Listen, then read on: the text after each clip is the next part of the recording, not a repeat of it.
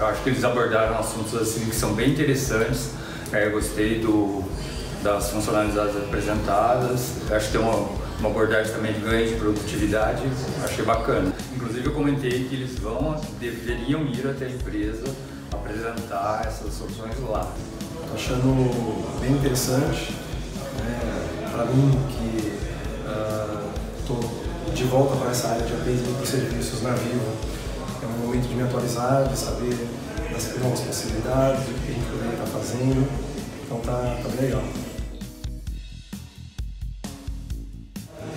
O conteúdo também, por ser mais prático, né, eu acho que deixa evidente para a gente o que, que no dia a dia a gente está fazendo, o que, que poderia estar fazendo melhor. Né? Então, para mim, ser mais hands-on, acho que é bem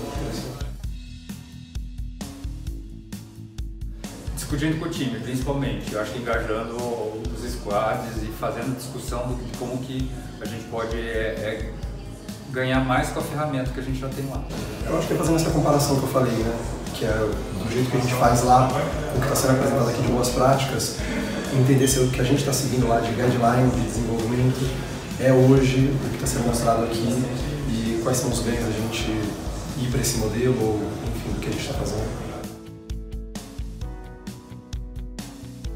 Ah, eu acho que vários, assim, de, de, é, por exemplo, ter o conhecimento técnico, acho que é super válido, uhum. é, fazer o networking, rever também pessoas que você já conhece, acho muito bacana saber o que está acontecendo é, no mercado digital. É se atualizar, acho que é a oportunidade de coisas novas.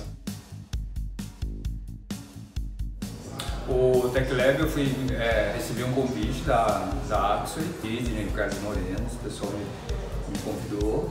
Aí existe uma iniciativa da diretoria da Vivo, a Marcia Wolf, ela está é, bem engajada nesse processo de estar tá participando de treinamento, plano pessoal, ela levantou essa, essa importância.